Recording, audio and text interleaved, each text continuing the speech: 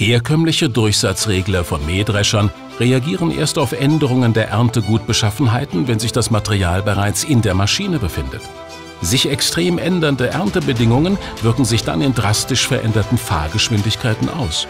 Die vorausschauende Durchsatzregelung erkennt die Bestandssituation vor dem Mähdrescher mit speziellen 3D-Stereokameras, gleicht sie mit zusätzlichen georeferenzierten Vegetationsdaten ab und passt die Fahrgeschwindigkeit ebenso wie die anderen Einstellungen automatisch an die aktuelle Erntesituation an. Für diese entscheidende Weiterentwicklung bei der Automatisierung der Druschfruchternte wurde John Deere mit dem Innovation Award Agritechnica 2019 in Silber ausgezeichnet.